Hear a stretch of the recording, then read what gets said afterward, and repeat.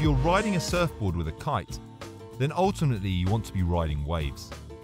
And riding waves is far from easy. Traditional surfers spend years, decades, perfecting the art. And many of you are jumping in with little or no experience of surfing. So there's a lot to learn, both in understanding this new environment and how it fits with both a surfboard and a kite. What's so great is the kite gives us a big advantage over traditional surfers. We can catch far more waves with less effort. This gives you the opportunity to hone your skills quicker when waves are far from perfect, but where a kite makes all the difference. But a kite can also be a huge hindrance if you get it into the wrong position. Most often, if you are having issues with riding waves, it will be the kite position that is the problem. Understanding the coordination of your board, kite, and the wave is crucial if you are to make the most out of any wave.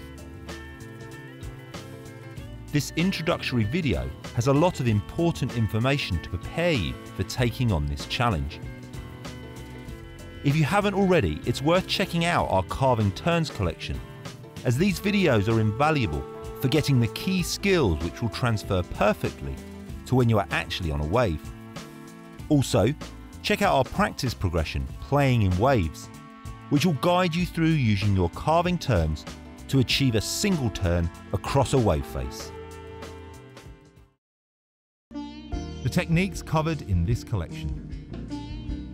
This Riding Waves collection covers two main styles, frontside and backside.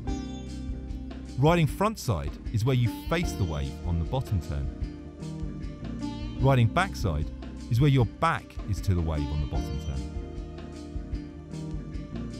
We'll cover each in detail in its own video, ensuring you understand how to perform your first bottom turn before transitioning into a powerful top turn. Our final video in this collection will then look at connecting multiple turns on a wave for both the front side and backside turns.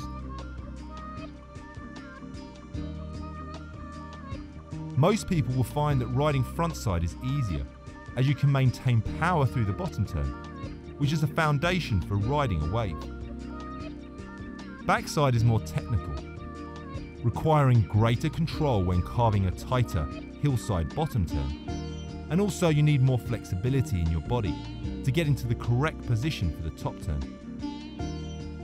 If possible, you want to first try riding waves on your front side, but obviously this depends on your stance and the wind direction in relation to the waves at your local break.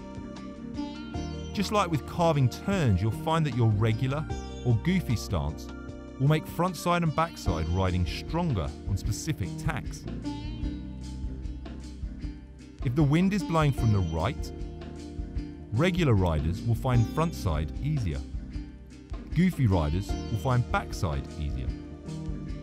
If the wind is blowing from the left, goofy riders will find frontside easier, and regular riders will find backside easier. You'll progress quicker if you stick to your strongest stance, but you'll also find riding frontside easier when you're first riding waves.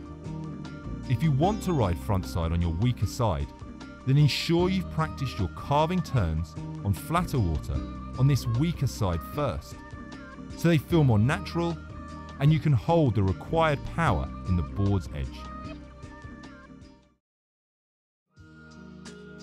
Wind and waves. As you'll see, we have examples of Colin and Lee riding in waves of various size and power. Some are cleaner, others mushy and closing out. It's a good example of how every wave is unique, and you need to be ready to adapt to the waves as they change through a session or from one beach to another. What we're trying to demonstrate in these videos is the fundamentals, which you can apply to waves of any size or shape. Just because these conditions aren't exactly like the waves at your home break, doesn't mean you can't understand the principles and apply them to various locations. We've also filmed most of the wave riding in cross or cross onshore winds. These conditions are the easiest to learn to ride waves.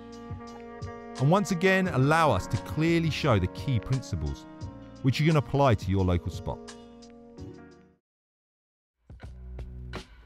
Parking the kite.